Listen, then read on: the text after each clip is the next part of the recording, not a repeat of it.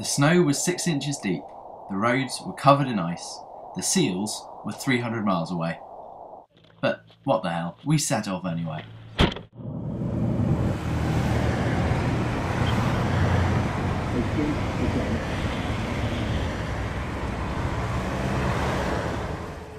Yes, you did read that right.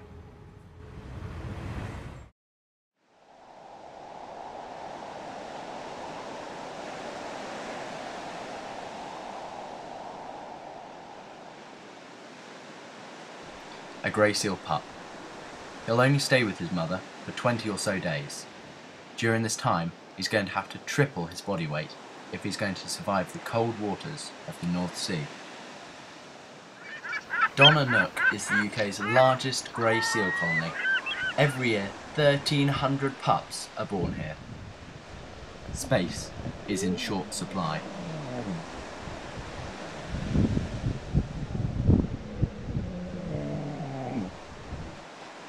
Time to go.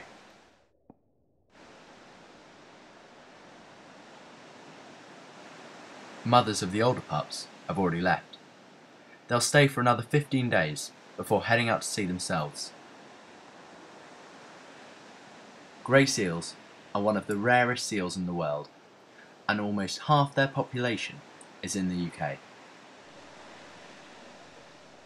The older seal pups are already developing the thick layers of blubber and fur that make them so superbly adapted to life in our temperate British seas.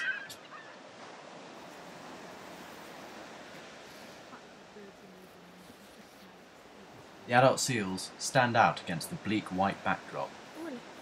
The 200 kilogram males are particularly noticeable.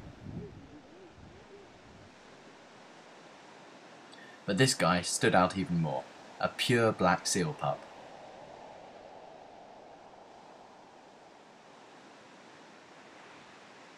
Life for a seal pup is hard. 30 to 50% of them will die before they're a year old.